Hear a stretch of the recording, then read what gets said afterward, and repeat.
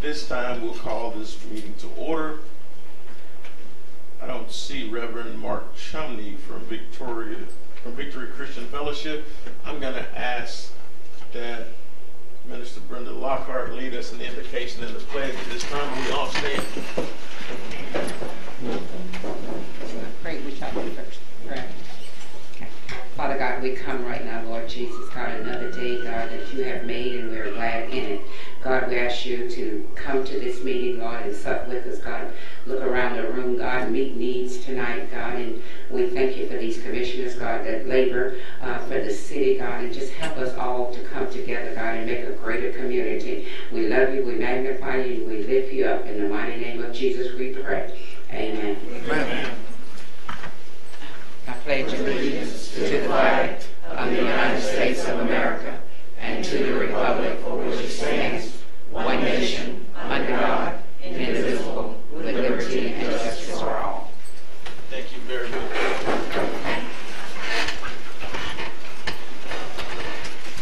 Roll call, please. Mayor Hill, Here.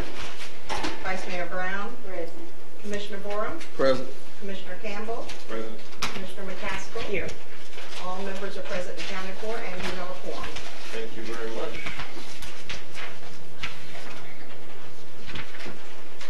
Has everyone had an opportunity to review minutes? Motion to approve. Second. There's a motion on the floor, second. All in favor, say aye. Aye. Opposed, motion carries unanimously. For today, we've only got one.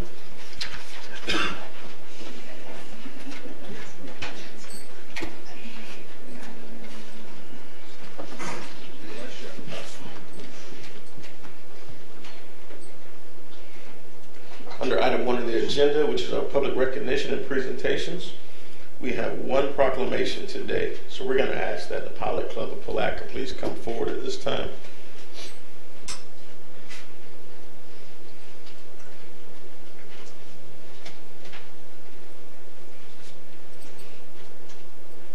This proclamation reads as follows.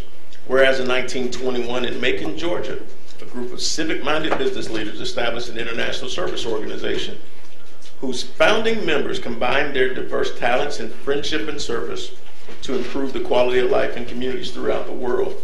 And whereas Pilot International is comprised of nearly 7,000 Pilot Club members and 7,500 Anchor Club members worldwide, whose mission is to influence positive change in communities throughout the world. And whereas to do this, members are members come together in friendship and give people an outlet for service, focusing on preparing youth and young adults for service, encouraging brain safety and health, and supporting those who care for others. And whereas Pilot International furthers the organization's humanitarian efforts through scholarships and grants to support research, education, and community caregiving programs, and partners with Project Lifesaver and Brain Injury Associations of America.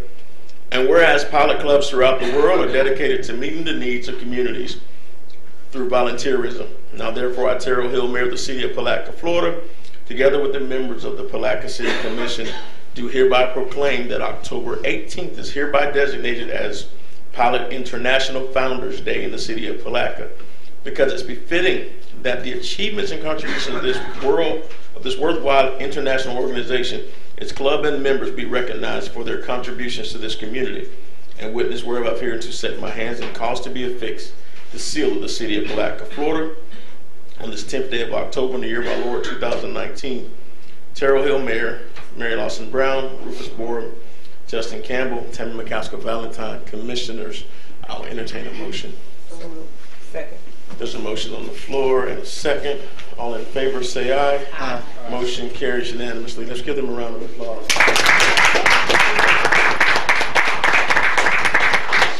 Yes, please, please. Don't worry, three sentences. Thank you for recognizing Pilot International Founders Day. Palatka is a wonderful community. We feel blessed to be able to work collaboratively with you to provide services related to preparing youth and young adults for service, encouraging brain safety and health, and supporting those who care for others. Within the last couple years, part of our collaboration has been to provide swings for disabled students. And I know we're still in the process, and I hear there's another one coming, so I'm very excited about that. Um, And just know that if there is a need that we can help with, our members will be there. And we thank you so much for all you do, because it's a work in progress, but we're moving. Thank you. Thank you.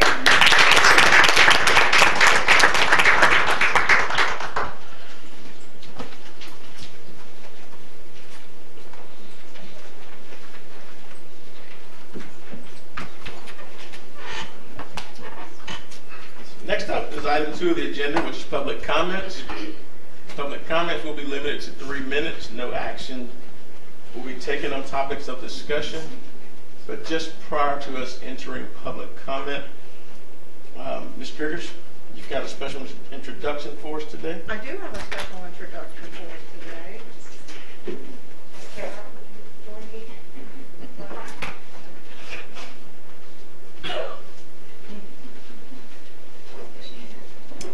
I am pleased and proud to present to you Ms. Kara McCoy. She is the new Assistant City Clerk for the City of Palatka.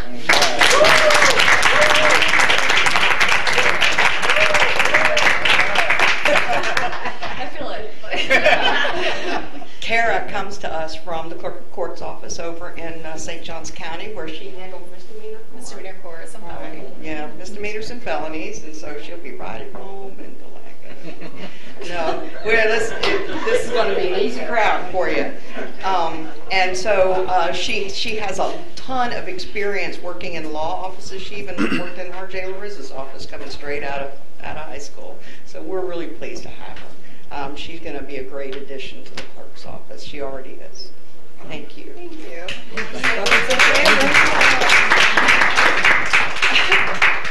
No, I'm okay. I'm going to work up to it. And she is from Palatka. She's from Palatka. Oh, that's wonderful. Well, we want to certainly just welcome her to, to the city. We look forward to working. It's over here, and it's, it's definitely, it's feeling like home. Oh, good. It's great. Thank you, thank you. So anyone wishing to speak during public comment, please fill out the yellow speaker's card. As you appro- approach the podium, please give us your name and address for the record. We have one speaker who's filled out a card, Mr. Rick Stackpole.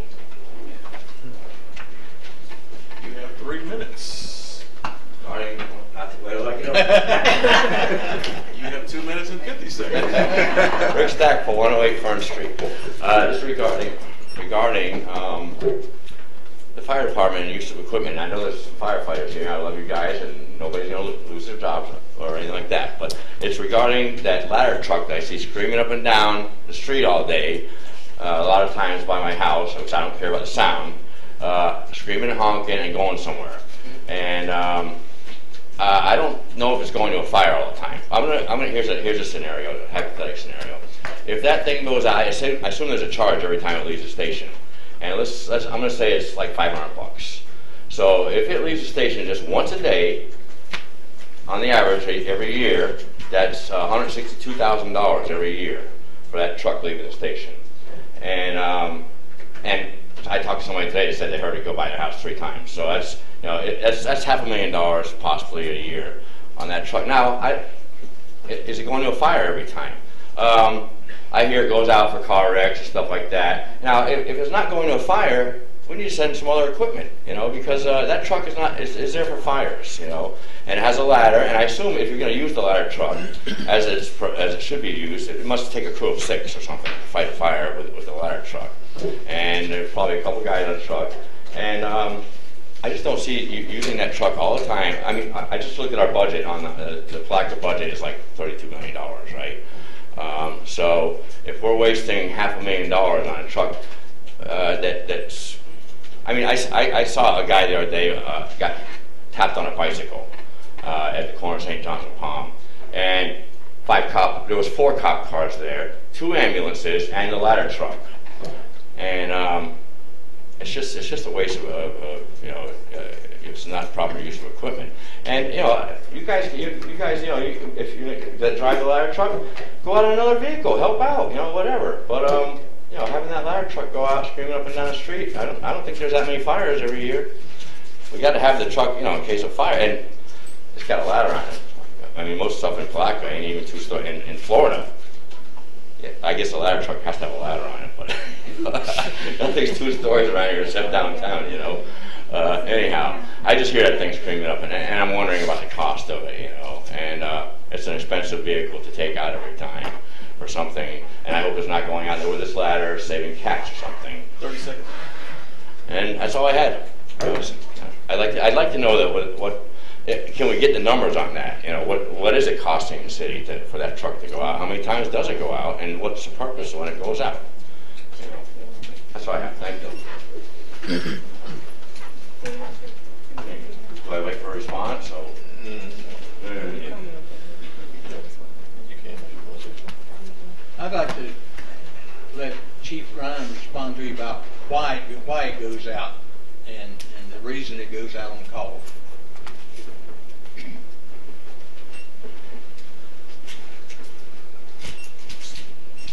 Um, I'll approach the first question about the ladder truck running three times today. That is not an accurate statement. It hasn't left where it's sitting. Um, you're absolutely welcome to come down to the fire station. We try the mileage on it every single day. Um, the truck that comes streaming across town on a regular basis may be the one coming from East Palatka um, that responds to a geographic area because that's where their career department is. Um, I'm not sure that we even sent a fire engine on a call today. Uh, most days our, our uh, everyday calls are answered out of a F-250 pickup truck. Um, so we may have had a car wreck. Our response plan does require us to respond to fire engine to a car wreck. Um, but the ladder truck has not moved today. Uh, my shift captain is sitting right back there on the back thing. If the ladder truck would have moved today, I would have known about it.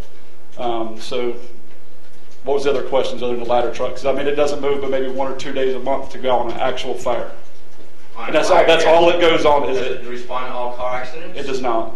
It responds to all fires in the south and north historic district, any fires inside a commercial zoned area, and into our industrial facilities. So it responds to fires only. That's correct. Okay. Unless, unless, unless the guys are in it on a driver train and they catch a call while they're going by. Okay, maybe it was the other truck you're talking about. Very well could have been. There's only one ladder truck in our county, and it sits inside of our station. Okay, thank you. I, I didn't want to. So, okay. Good to be The one that comes by here most of the time is the county. I just heard one screaming by here, by the way, about a minute. That, that was the county, that's the county truck. That's the one that we got, we got, we got talking about that. Hey, moving on to item three of the agenda, consent agenda. On our consent agenda, we've got items A through N today. Are there any items on the consent agenda that you wish to have removed at this time? There's a motion by Commissioner Campbell to approve the consent agenda as written. Uh, Is there a second? Second. There's a second. Is there any further discussion? Questions called. All in favor, say aye. Aye. Opposed, motion carries unanimously. Moving on to item four of the agenda, resolution ratifying and author- authorizing execution of a union contract agreement with professional firefighters of Palatka Local 2992, effective October 1st, 2019 through September 30th, 2022. I would suspect that would be enough pro tem. So we will, at this time, Ms. Griggers. A resolution of the City of Palatka, Florida, authorizing the execution of a contract agreement with the professional firefighters of Palatka, Local 2992, effective effective October 1, 2019 through September 30th, 2022. Motion to approve. Second. There's a motion on the floor and a second. We'll now open the floor for public comment. Is there anyone here for public comment? Do we have anyone from Local 2292 that wants to speak? Seeing no one, we'll close the public comment. Is there any further discussion? Questions called. All in favor, say aye. Aye. Opposed, motion carries unanimously. Congratulations, gentlemen, we have an agreement. Moving forward, and I want to give kudos out uh, to Mr. Garner for stepping in uh, and working closely with the union to make that happen. Uh, And so it seemed to be a pretty seamless process in getting that in place, and also Very- very enjoyable. um, to Mr. Holmes as well for the review. And so again, thank you guys, thank you chief, thank you um, to our firefighters. Let's give those guys a round of applause. We have some great firefighters. They may not be great softball players, but they are great firefighters. There's only one in the back of the room. He knows. no, I just give him a hard time. But no, we got great firefighters, and those guys go over and beyond the call of duty. You'll see it again this year, uh, especially during the Christmas time, where they go out and give out thousands of gifts to kids throughout the community. But from fire safety, what we'll be doing this month and overall, you just see these guys work over and beyond the call of duty, and we really appreciate you and the stuff that you're doing, and we appreciate your patience as we begin to continually grow the city of Palatka. And we're glad to see those new fire trucks in place so that you guys can continually work more efficiently and not have a 95 truck out there working. So again, thank you. May I tell one more thing about how we get a break with our, in home, our home, in our insurance with our homes and So our, our fire department is an ISO is rated as an ISO two. ISOs go from two to ten. Uh, one to ten. Well, one to ten. I'm sorry, one to ten. We're gonna say two because we're two. Uh, but from from one to ten, we're an ISO two. We're one point away this time from a one. So we're only one point away from an ISO one. What that means is for the average citizen, it translates into additional savings on your insurance. Um, our fire department is rated to serve from Palatka throughout Francis. And so those guys, uh, just through their work, through the, the excellent training, the amount of equipment that they have in place, um, as well as other factors, they've been put in a position where those savings pass on to us as citizens, anyone who's, who's in that geographical region. And so again, we just appreciate all that they do, the in-service training and the work that's put in place with that. And so um, we're, we're grateful for the work that they do. And oftentimes, it's a thankless job, and we just really appreciate it. And so it's always good when we can laugh together, have you guys sit in here, and we can come to agreements as it relates to moving forward in the future. And so definitely much appreciated. I still hold my comments on softball. Um, Hey, I think we do have a trophy down there that puts us as the champions of the last softball tournament. well, There's an announcement that's going to be made from Recreation where we can talk about that later. There's a new challenge coming. So moving forward with item five of the agenda, authorizing submission of an application for the Florida Recreation Department Assist, Development Assistance Program, FERDAP, for the fiscal year 2021 for the development of Booker Park Phase 2 for an amount of $50,000. A resolution authorizing the submission of an application for the Florida Recreation Development Assistance Pro- Program, FRDAP, to the Florida Department of Environmental Protection for State of Florida fiscal year 2020, 2021 for Booker Park Phase 2 in the amount of $50,000. motion. So motion on the floor in a second. Is there anyone here for public comment? Seeing no one here for public comment, is there any discussion? I'd Just like to say that both FERDAP grants that are coming forward are duplications of grants that were out there last year. Uh, No different, there were no FERDAP grants awarded last year, and so we resubmitted this year uh, to see if those grants would again score high enough for us to receive funding. Is there any further discussion? Question. Questions called, all in favor say aye. Aye.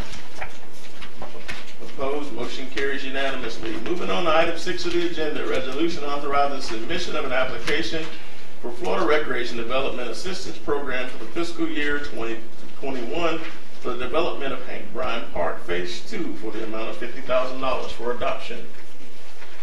A resolution authorizing the submission of an application for the Florida Recreation Development Assistance Program, FRDAP, to the Florida Department of Environmental Protection for State of Florida, for the State of Florida fiscal year 2020, 2021 for Hank Bryan Park Phase 2 in the amount of $50,000. There's a motion on the floor and a second. Now before for public hearing. Is there anyone here for public hearing? Seeing no one, we will close public hearing. Is there any further discussion? Question. Questions called. All in favor say aye. Aye. Opposed, motion carries unanimously. Item seven, new city manager search. Contract with William P. Bill Shanahan Jr. Ms. Robinson.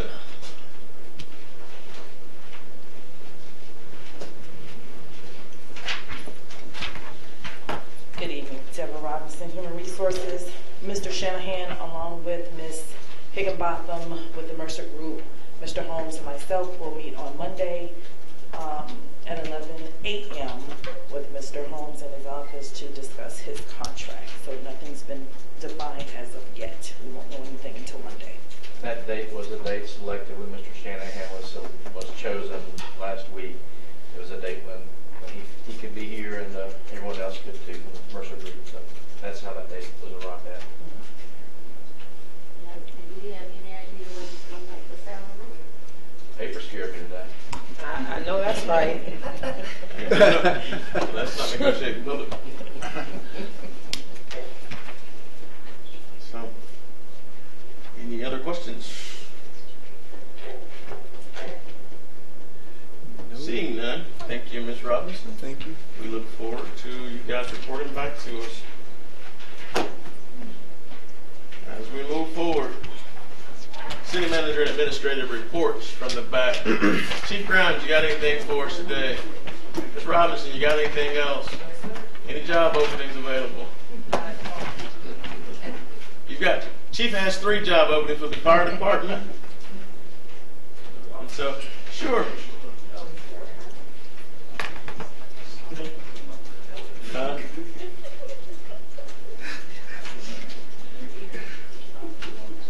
Um, we got kind of busy around Hurricane Dorian, but we did receive the uh, federal SAFER grant for um, three firefighter positions. Um, we started advertising on September the 15th. Uh, we ran applications for almost a full month now. We're going to stop the application period on, I think it's Tuesday, the 15th of October. Um, so far, we've only collected seven applications. Um, it's really hard in the tough market right now because everybody around us is hiring as everybody's growing. Um, so if anybody knows anybody that's in fire school that's looking for a job, uh, please send them our way. Um, the applications are available through Ms. Robinson's office, also at the fire station offline. Um, so I think I'm going to have a total of five positions open because I've got a couple of guys that are going to other counties. So um, thank you. Mr. Holmes, do you have anything for us? No. Okay. Um, Ms. Griggers? Mr. Mr. Yule? So we, we are looking for a part-time administrative operations.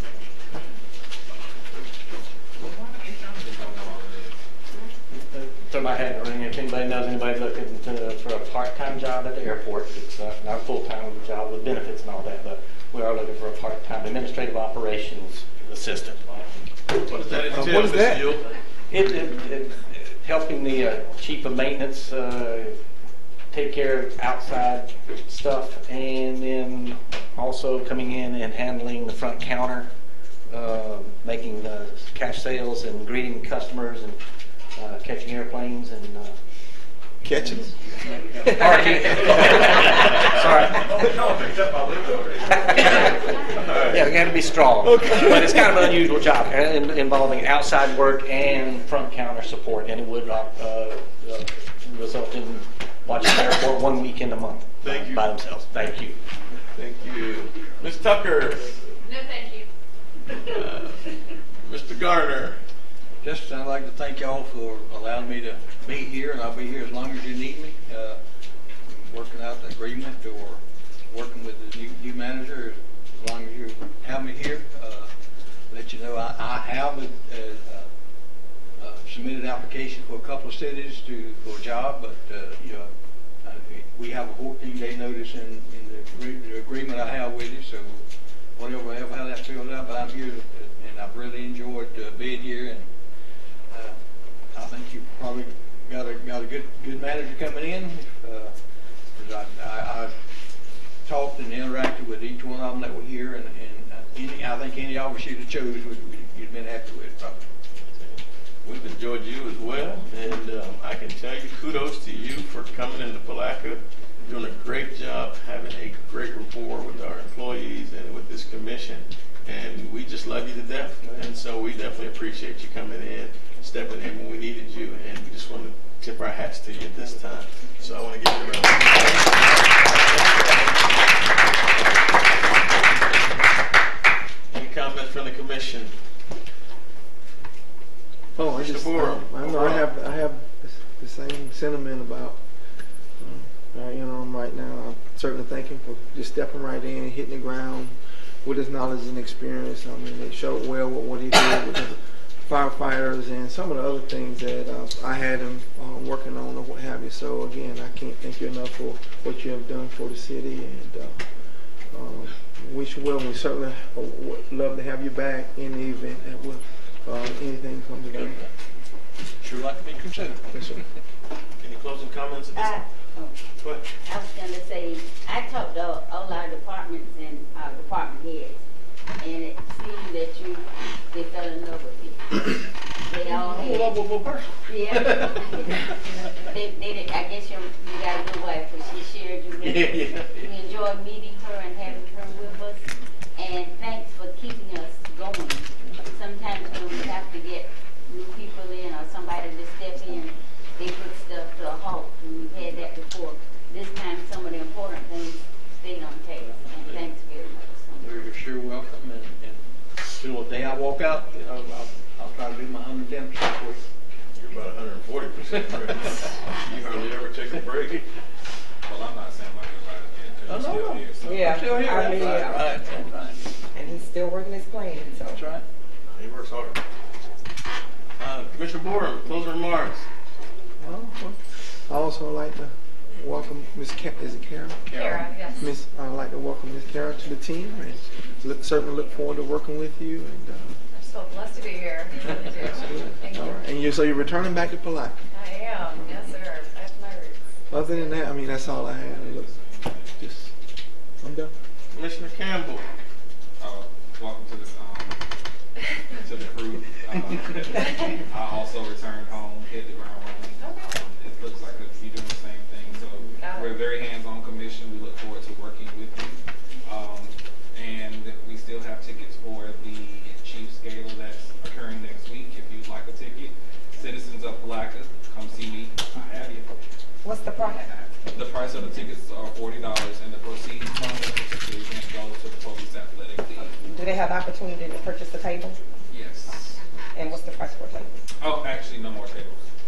We just trying to. Okay. Mr. Parsons got the last table. Anything else? That's it. Vice Mayor. Oh, I would like for us to let people know what's being done with the city. A lot of times folks ask us what's going on. Uh, I rode around when we had some people here the other day with our fire chief, and he began to say, uh, some of these new stores were looking at coming, restaurants and stores coming to town. Um, I'd like for us to put it out there so people will know, because we encourage that. And I'd like for them to know about all the work that's being done. Uh, People complain about our streets and, and them being torn up, and I know how that feels, but the results is gonna be so great that I think everybody needs to know it's not just being done to be done, it's done to, to make a change and change the quality of life. I thought that we had those project update sheets back there available at one point. The new stores, when they come in, it's, you can't put it out Right. because Right. it's, um, it's confidential information until they go into permitting. But the things that we were doing, I think that's what you're talking about too. I think we have project update sheets back there, didn't we? Provide that for the public at one point, and we asked Betsy to put it on the website. But you know, a lot of times the, uh, the public doesn't look at our website, we got, um, Nobody looks at it now. Yeah. Yeah, yeah, I've been but, looking, but not we finding a are, lot. we are, uh, we tape our meetings, and I was surprised that people tell me, I saw you on TV the other day, and I'm, what? oh, I haven't been on TV. Two And then twenty-nine. I realized they're talking about our meetings. I just think sometimes we just need to say, hey, this project is going on, and if we know when some of them are gonna be completed, or we're gonna do a celebration, or anything that comes up. And stuff like what the, the city, firefighters in the city do for, um, Halloween, you know. Um, somebody was saying, we can't go down to Ninth Street with the trick or treat stuff. But you can go out to the mall, and we just need to update people a little bit. So we just have a little something, somebody do like they do announcements in the church. So that people people will pick it up, well, but they can read it out the paper not if they see it on the television. Carol, you might want to take on that. Well, there's, I always give it to the new person. Carol, welcome aboard. Thank you. Well, well, whenever they, they promote, they promote it in different um, media streams and whatever, so it's being promoted. Um, but not enough. You know, people think people think we sit up here and just come meeting twice twice a month. And I'm telling you from sitting here, because I had somebody ask me what I've done since I've been there. I'm sorry to say, and I want to keep it in, in because I usually don't say much, but usually the people that think we don't do anything are the ones that don't come to the. are not engaged. Yeah, so, No, you so know, let- maybe they, that's, Let me, that's, let me give you guys, some, Come on. let me give you some information on what's been going on around here. Thank So you. that, you know, no, Do an update. no, just for how dissemination of information has been taking place in recent months. So Winston over at the River Center has, has taken on public information opportunities as well. One of the things that he does is he puts the information out in various media, media forms so that it gets out to the public, kind of like a public information officer, even though we don't have one funded for the city. The other thing is just about every department within the city has their own social media site where they have Facebook, Instagram, and other sites. The fire mm-hmm. department, as an example, puts all their stuff on their Facebook site as well as the individuals who work for the fire department share that stuff within their various circles. They do the same things from the public works side. The announcements go out, the alerts go out. We're doing reverse 911s with the school district as it relates to certain things that happen throughout the city, even certain events that are out there. Palatka Recreation has its own site. The police department has its site. PAL has a site. So all these different places, they're putting this information out through email lists. They're putting it out on various social media sites, Facebook, Instagram, Twitter. They're all going out that way. We're doing everything, but and sometimes if we're doing Palatka Pride or some of these other events, we literally knock on the door and put door hangers out. So Public Works actually uses door hangers to get some of their information out, as well as mailing it out inside of water bills. So we've done everything but send a pigeon out as a carrier to try to get this stuff to people. The next step is to order the electronic sign so that we can get it out. Some people just aren't engaged and they're gonna complain. And the reality is, unless you knock on their door and say, what are your basic needs, it's gonna be hard to reach them. And so we're trying as much as we can with as little as we have to get as much information out. The newspaper's been a great outlet for us. Um, they've started covering additional things, and so we just continue to push. And if you got any other ideas, we're taking because we tried all kind of stuff to get people engaged. Um, and so even surveys have been going out with uh, young, Palatka young professionals getting stuff out to see what opinions are about getting additional information out. We've been getting responses. So it's been major effort put into place to get information out. And it never fails. Some people just don't get it because they're sitting at home waiting for it to knock on their door. and It ain't happening. Um, Commissioner McCaskill, just want to say again, welcome aboard, Carol. I had the opportunity to meet with her before we started tonight and just uh, adore your personality. I do have a question. I, did we have another one that started in finance also? Okay, when did they start? Yesterday. Yeah. Today?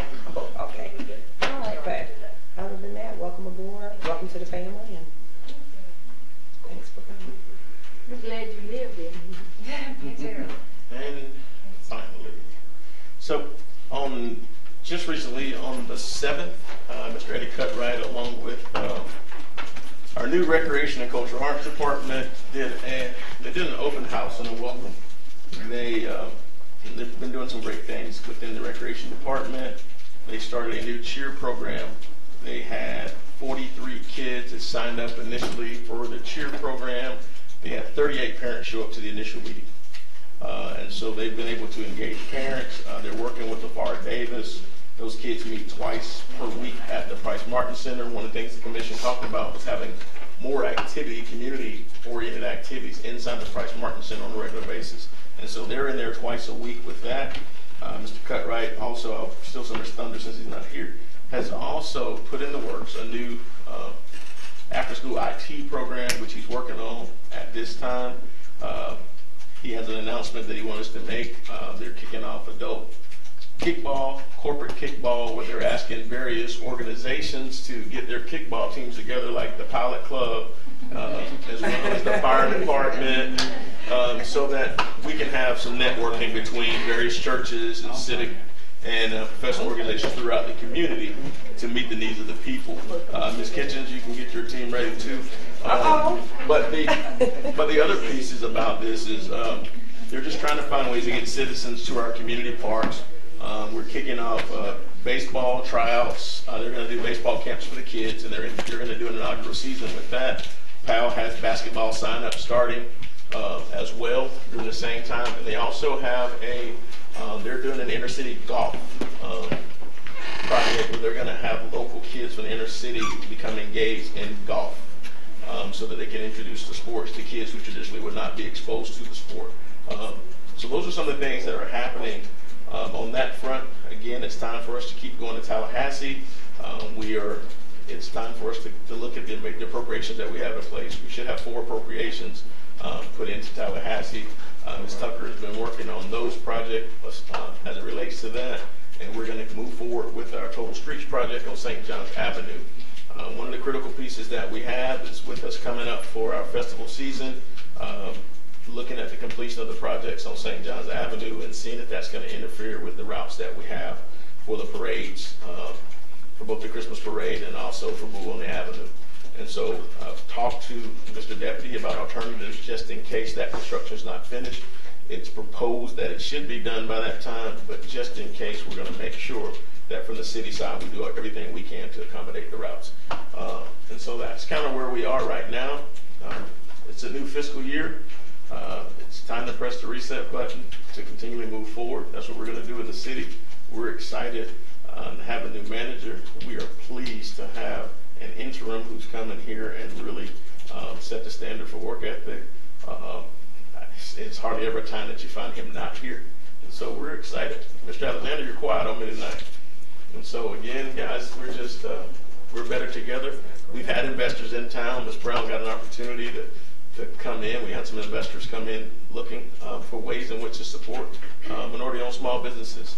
And uh, they chose Palatka out of three, as one of their three destinations in, in the state of Florida to come in and actually uh, plant some seeds here.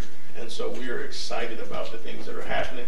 We just had another set of investors come in to look at additional opportunities for development within the cities. We'll hear more about that in the future. And so uh, you, every day there's someone new coming through this community because they realize that the gym is starting to shine again. And so we are just excited. If you have not read the Florida Times Union today, read the article that talks about the dying city gaining new life. It is an excellent article that talks about Palatka and Putnam County's resurgence. And so again, communities all over are excited about what's going on in this community. They're recognizing new energy and new life and new hope. And so as we move forward, don't be blinded by what you think you see.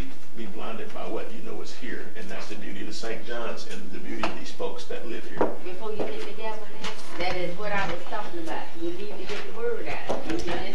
Oh, Yes, oh, I that mean, happens. Thank you. And the mother of the city, the grandmother, has spoken.